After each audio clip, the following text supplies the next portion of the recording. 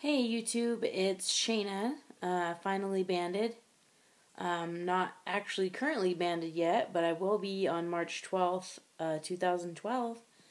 Um, I finally got my paperwork in the mail, so I know that it's for sure um, that it's going to happen now, and um, it's kind of all sinking in and hitting me, and uh, it's I was more excited before I got approved for some reason. Um, I don't know if it's because now that I actually know that I'm getting it, I'm starting to freak out um, a little bit, and all my nerves are coming at me all at once. And, um, you know, you always have the what ifs. What if this happens to me during surgery? What if it doesn't work for me? What if my band slips? What if I fail at this. I mean, the list goes on. I'm sure all of you have been there at one point or another in your journey as well. Um, so that's kind of where I'm at now, and I'm I'm also wondering if I picked the right surgery.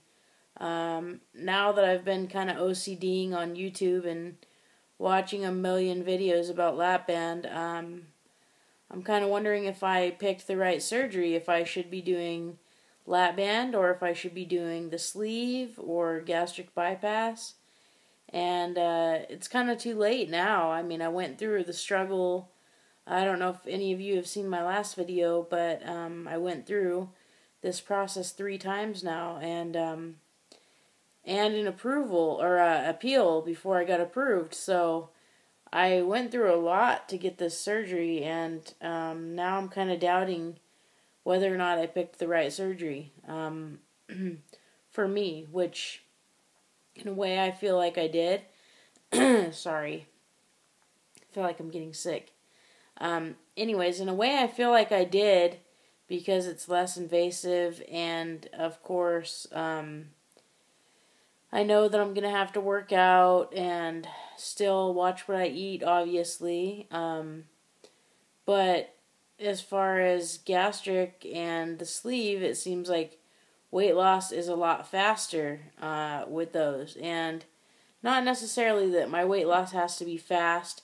I just want it to be successful. Um, and that's the whole reason why I'm even choosing to have uh, weight loss surgery uh, to begin with, is that I want to be successful. I want to have a um, permanent lifestyle change because I've never had that.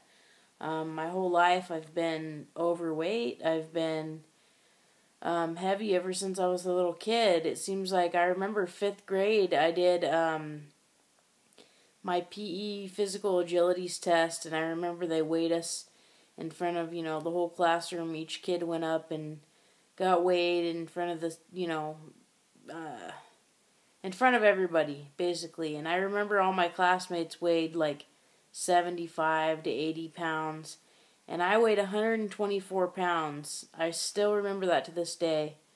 Um, and I remember being 124 pounds as a fifth grader. That's pretty big, considering I probably wasn't even five foot tall at the time. Um, and I just kept getting bigger from there. It's like that's the that's the smallest weight that I remember um, as a child, and it just kept going up and up and up and up. And um, finally, when I hit about 19 or 20, um, I was about 185 pounds. And um, it really hit me that I needed to start doing something about my weight. And um, so I started working out a lot and weight training. And for me, I like to have a lot of muscle. I know a lot of women don't like to have a lot of muscle because they think that it looks manly or you're going to look too masculine. But for me, my opinion, I like to have a lot of muscle. I like to be very, very toned um, and have defined, uh, defined muscle that you can see. And um, I had that for a while, and I was weighing about 175 pounds, and I'm 5'6", 5'5", 5, in between 5'5", and 5'6". And for me, at 175 pounds, I was wearing a size 8. And a lot of women would go, wow, you know, a size 8 and you weighed 175 pounds. Um, most people would think that you'd weigh around 150, 145. Um, but for me, I had a lot of muscle, and I still have a lot of muscle, but I've also obviously picked up a lot of fat um, after having my son. But, anyways, I'll get to that in a minute. Um, so, I want to get back to my goal uh, being um, less than what I was because at, at 175 I still did have fat on my body, but I was a lot more like dense, as in having a lot more muscle, and I really liked that. Um, I like how my body looked, and I would be totally happy being 175 pounds again. Um, but at that point in my life, I did want to still get down to like 160, 155 pounds. And I think my goal is going to be 160, 165 um, when I have the surgery. So um, mark my word on that. That's what I'm going to try to get down to 160, 165. Um, but, anyways, after I had gotten to that point in my life, I was pretty content for a while um, being 175, and I was lifting weights, you know, every day, every other day, um, and doing a lot of cardio. At the time, I lived down at the beach and um, I would run a lot down um, on the strand there and had a nice ocean view and it was very easy for me to run and um, I loved it. It was something that I did every single day and um, as I got older um, I had to start taking on more responsibility obviously. I started back in school and I started working and then I'd work two jobs plus trying to go to school and on top of having a boyfriend and everything else at the time um, my life got very busy and i was working in the restaurant industry so i of course was eating lots of junk food at the time just fried food fast food um, on the go kind of lifestyle and that's when i put on about another 30 pounds um, i got up to like 205 210 and at my heaviest I was like 220 at the time. Um, before I had my son, that was like my heaviest weight. And I remember being like a size 16, and I thought to myself, okay, I really got to do something to get my butt in shape. And um, so I did. I got back into the same lifestyle that I was that I was living when I was 19 or 20 and working out really hardcore and lifting weights really heavy again and I started um, bulking up, not with fat, but with muscle, and shredding that fat, and I got back down to like a size 8 or 10 again. And I was very happy, and then I got pregnant, and it all went out the window. Um, my pregnancy was, I was sick every day, I ate whatever I wanted, never worked out, yada yada. Gained like 70 pounds throughout my pregnancy, um, which put me at an all time high of 242 pounds. Um, and I had my son, he's 18 months now, so 18 months has went by and I've lost maybe 5 pounds after I had him. So I'm down to 238.4 is what I weighed today. Um, but, uh, yeah, and I was even heavier than this. I mean, after I had my son, I had gained more weight. So I was at 242 when I gave birth to him, but I mean, I've also went up from there. My highest recorded weight at the doctor's office was, I think, 249 pounds.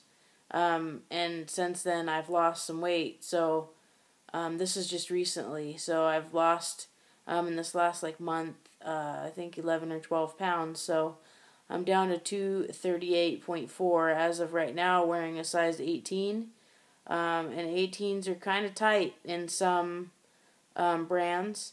So, and I'm wearing extra large shirts um, and size 18 jeans. So, anyways, um, I would like to get down to 160 and start lifting again and running a lot. I've been, like I said, this week. Um, I've been doing a lot of uh, walking on my treadmill, not just this week, but this month, I should say. Um, a lot of walking at a pretty moderate rate and on an incline, um, three, four miles every time I get on the thing. And um, I can't really run because I have arthritis in my right foot and um, I'm pretty sure that that's due to my weight. And I'm sure once I get my weight down, it'll be fine and it'll go away. But um, anyways, I'm gonna continue doing what I've been doing. Uh, keep working out hard and um, just watch what I've been eating. I've been eating a lot of high protein foods, a lot of eggs, egg whites, um, a lot of lean meat, just chicken basically. Uh, and I've cut out all my red meat that I've been eating. Um, been eating a lot of Greek yogurt. Um, what else have I been? A lot of salads, vegetables. I went from eating like my instead of eating chips, I started switching those out for like carrot sticks with light ranch uh, and cucumbers with a little bit of balsamic vinegar. Um, just snacking, making a lot healthier choices on my snacks, and making it a point every day to drink at least 64 ounces of water. And that's how I've already lost 12 pounds. Um, I haven't even started my pre op liquid diet yet, which I'm sure I'm going to have to. Um, I go in on the 5th of March for my pre op appointment, and I'm sure they're going to start me on some sort of uh, pre op liquid diet um, before surgery. So, who knows what's to come um, from here on out, but like I said, I'm just getting nervous uh, now that it's finally here and just really anxious. I cannot wait to um, get the surgery and get the ball rolling and um, start losing weight. So, just made my channel here to keep myself accountable. Um, once I get the surgery, I'm going to be making a lot more videos uh, than I have already. It's just kind of pointless right now for me to make videos because um, I really I don't have much to record. I mean, I don't I haven't went through the process yet. Um, all I can do is sit here and OCD on everybody else's videos and uh, and keep myself motivated. Um, kind of curious about loose skin. Um, I'd really like to see um, and hear from you guys on your you know journeys if you've had a lot of loose skin. I've looked at quite a few videos, but not too many people show their actual body. I know some people weren't comfortable with that. Um, shout out to uh, new new toy for Katie and um, Casey Quinn. Um, both of you two I've watched forever for like the last year and a half, and I absolutely love your guys' videos. Um, I would like to see Katie though. Katie, I've been wanting to see your loose skin if you have any. Um, because your transformation has been amazing. Um, I've absolutely loved to see you all along your journey. You're so inspiring to me, and um, I'm going to keep watching your videos throughout this process. But you've lost so much weight, and I'm so proud of you, and I'd love to see a um, excess skin video if you ever want to post one. I'd love to see it just because I'm so curious as to what I will look like um, when I get to my goal if I'm going to have a lot of loose skin or not. But anyways, I don't want to make this video too long. I'm already at 13 minutes and 30 seconds, so I should hurry up and get off here. Um, anyways, if you guys want to subscribe, go ahead, add me as a friend. Um, I'd love to hear any comments, any feedback from you guys on loose skin, what you guys are eating, um, any uh, comments about lap band. Uh, keep me informed, keep me updated. My surgery is March 12th, 2012. Um, I'll be checking in with you guys weekly, if not mm, sooner than weekly, uh, or more frequent than weekly. Um, but, anyways, uh, thanks for watching, you guys. I'll see you soon. Take care. I apologize about the way I look. I always make videos when I look like complete crap. I have no makeup on. Uh, please forgive me. Um, I am a makeup artist and a hairstylist, and I actually look like complete crap every time I get on here. It's because I'm getting ready to go to bed. Anyways, uh, forgive me and please subscribe. I'll talk to you guys soon. Bye bye.